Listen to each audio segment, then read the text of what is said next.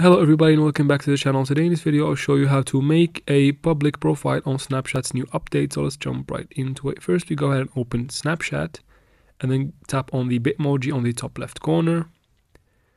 From here we can scroll down until you find create public profile. Now we'll get back to that later. First we go to settings from here and then scroll down until we find send me notifications this one tap on it and make sure that it is set to everyone. Go back and then tap on view my story. Make sure it is set also to everyone.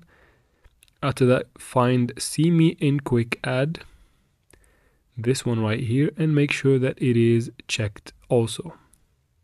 Once you're done go back and tap on create public profile. Tap on continue. Get started and create.